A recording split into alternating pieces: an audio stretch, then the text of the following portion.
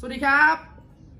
สวัสดีกันอีกหนึ่งรีวิวนะครับสำหรับรีวิวนี้เป็นรีวิวที่ 2 ของปืนแบรนด์กันนะครับบ a เ e ต้าโมเดล M92 เมื่อกี้ช่างยนถ่ายรีวิวตัวรุ่นเดียวกันนี้นะฮะ แต่เป็นรุ่น Compact ลำกล้อง 4 นิ้ว ตัวนี้เป็นลำกล้อง 5 นิ้วนะฮะ เดี๋ยวมาดูกันอีกทีนึง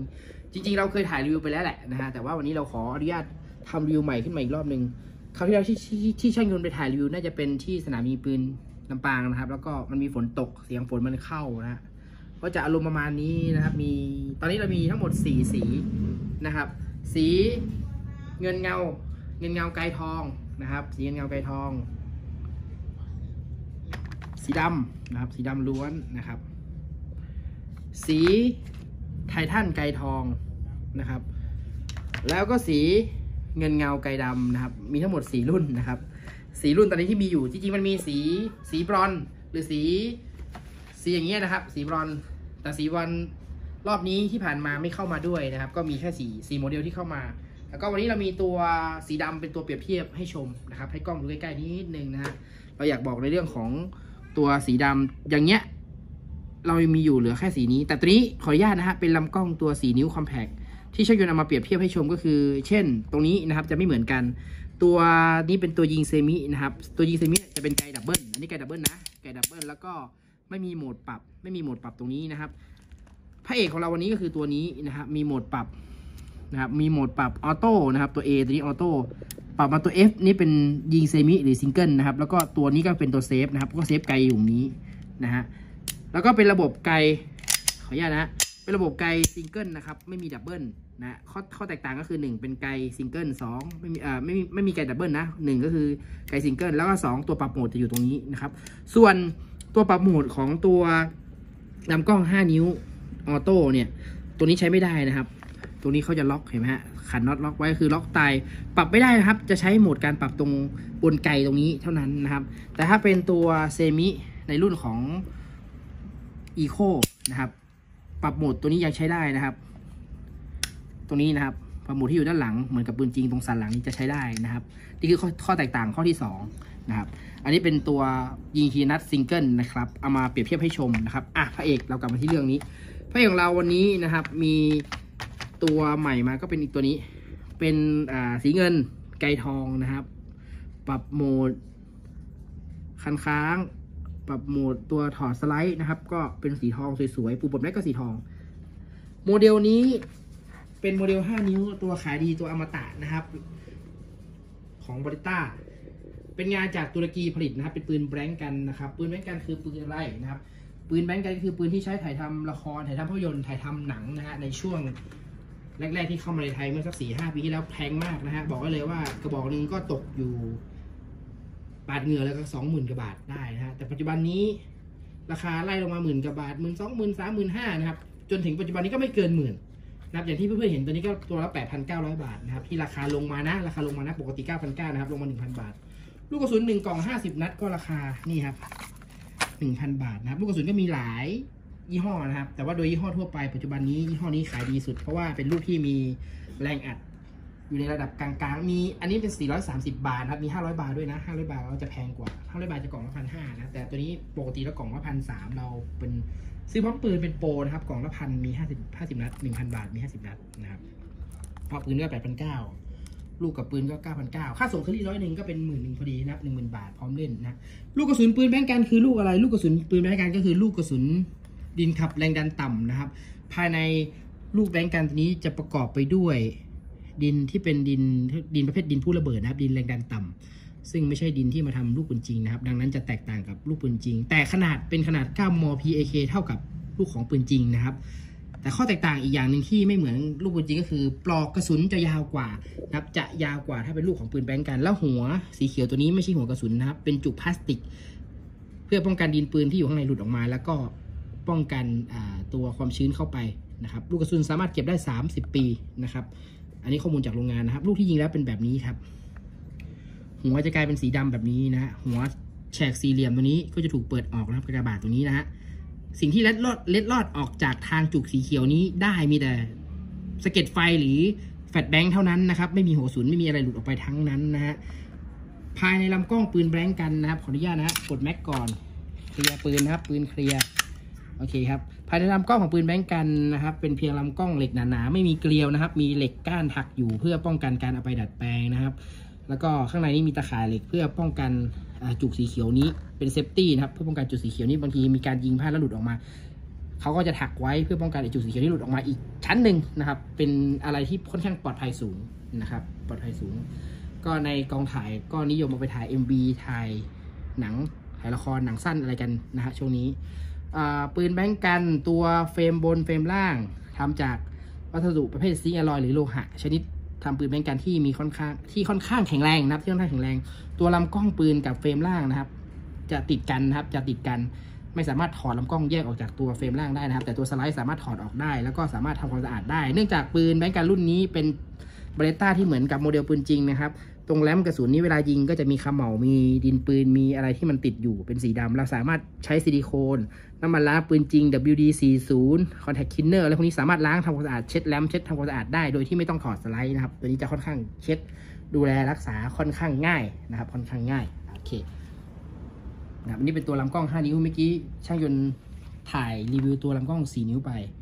นะครับลำกล้อง 4 นิ้วไป อันนี้พูดถึงลูกปืนแบงกัน และตัวปืนแบงกันนะครับ มีคำถามถามอีกคำถามหนึ่งก็ถามมาว่านะครับทางบ้านถามว่าลูกกระสุนปืนแบงกันเนี่ยนะครับเอาไปใส่ลูกปืนจริงยิงได้ไหมเอาเข้าแม็กปืนจริงเข้าได้ครับ แต่พอตอนขึ้นสไลด์ขึ้นลำนะพอตอนขึ้นสไลด์ขึ้นลำลูกกระสุนที่มันมีปลอกที่ค่อนข้างยาวกว่า เวลามันงับเข้ามาในงับเข้ามาในแรมนะครับ มันเข้าไม่สุดนะครับ มันก็จะประมาณนี้ถ้าเป็นลูกปืนจริงที่ช่างยนต์เอาไปลองนะครับทำให้สไลด์มันปิดไม่สนิท ระบบปืนก็ทำงานไม่ได้ เหตุผลก็เพราะว่าลูกกระสุนปอกลูกกระสุนของปืนแบงกันเนี่ย มันยาวกว่านั่นเองนะครับ แล้วก็ใส่เข้าไปแล้วยิงไม่ได้นะครับ อีกอย่างหนึ่งคำถามคำถามหนึ่งก็คือเอาลูกปืนจริงที่มีหัวกระสุนยาวกว่านะ มาใส่ลูกปืนแบงกันใส่ได้ไหมเหมือนกันครับ เข้าได้แต่เข้าไม่สุดเหมือนกัน ก็จะสไลด์ปิดไม่ได้ ไม่สนิท สิ่งที่อยากบอกก็คือมันใช้กันไม่ได้นะครับ ลูกปืนแบงกันกับลูกปืนจริง คนละประเภทกันใช้ยิงกันไม่ได้นะครับ ดังนั้นจงมั่นใจว่าปืนแบงกันเนี่ยไม่ใช่ปืนจริงนะครับจัดอยู่ในประเภทหมวดหมู่ของเทียมอาวุธ หรือสิ่งเทียมอาวุธนะครับกฎหมายในไทยก็สามารถซื้อขายได้เล่นได้นะครับแต่ผู้ที่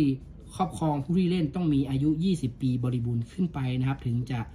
ครอบครองได้แสแสดงสำเนาบัตรประชาชนในการซื้อขายนะครับ ถึงจะเป็นเจ้าของได้นะฮะเราไม่ขาย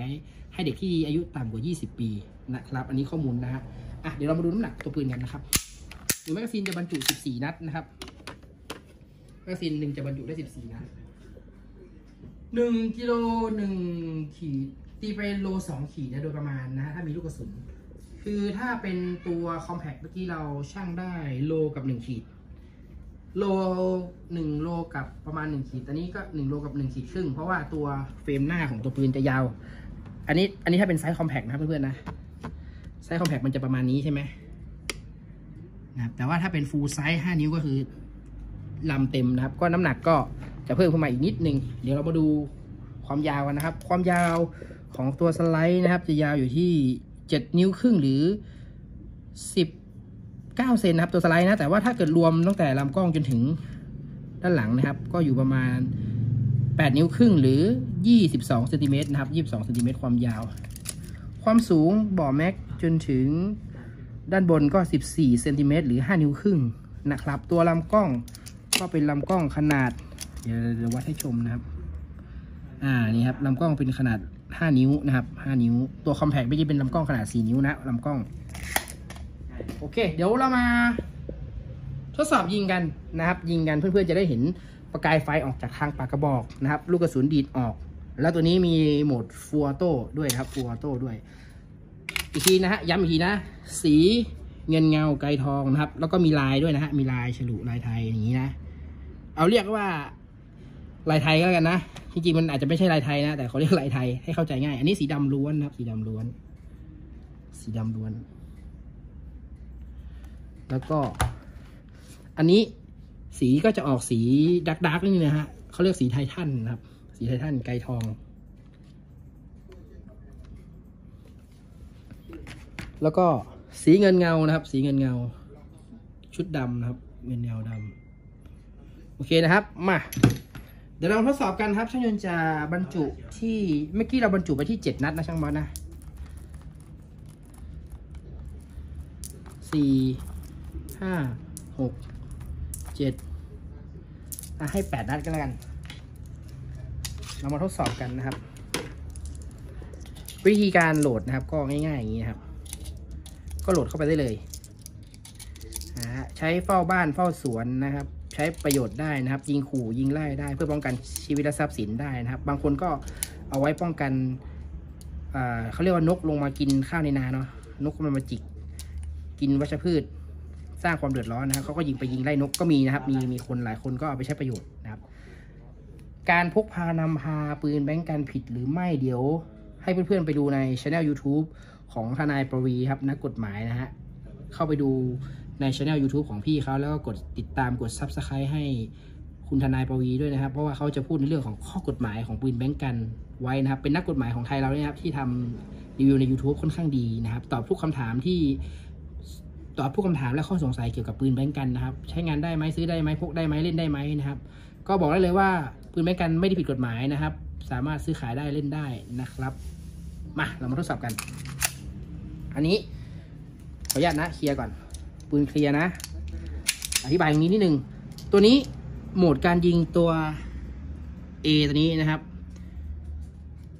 มันอยู่ที่ตัว A ใช่ไหมฮะเดี๋ยวนะฮะโทษที มันอยู่ที่ตัวตัว A ถูกแล้วตัว A นะครับ ตัว A ก็คือตัวออโต้นะครับ ตัว F นี่ก็คือเทียนัท ถ้าตัวนี้เป็นเซฟใช่ไหมเดี๋ยวเรายิงที่ตัว F ก่อนทีนัทก่อนยิงไปก่อนหนึ่งนัดนะฮะ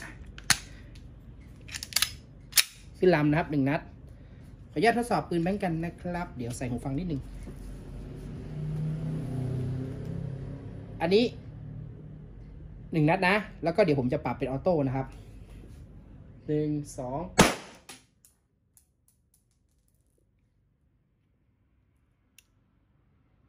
ปรับ ตัวนี้นะครับเป็นออโต้หนึ่งสองชุดที่หนึ่งนะครับ ชุดที่สอง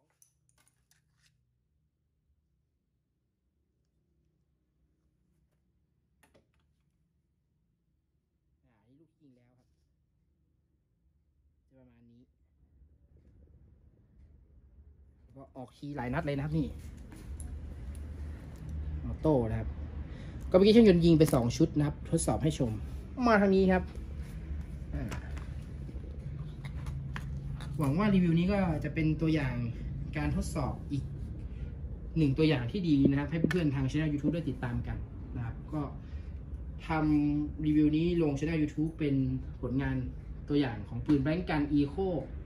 Duo Jacket เป็นตัวลำกล้อง 5 นิ้วครับ อีกหนึ่งรีวิว เพื่อนๆท่านใดที่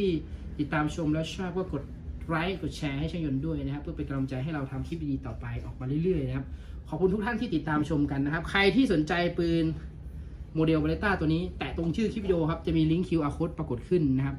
เพื่อนๆ สามารถ add เฟซ add ไลน์เข้ามาพูดคุยกับพวกเราในเรื่องรายละเอียดเพิ่มเติมการเป็นเจ้าของได้นะครับ อย่าลืมนะฮะแตะตรงชื่อคลิปวิดีโอจะมีลิงก์ QR code ปรากฏขึ้นนะครับอย่าลืมกดไลค์กดแชร์กดหัวใจให้พวกเราด้วยนะครับสำหรับรีวิวนี้ต้องขอจบลงแต่เพียงเท่านี้ครับ ขอบคุณทุกท่านครับ สวัสดีครับ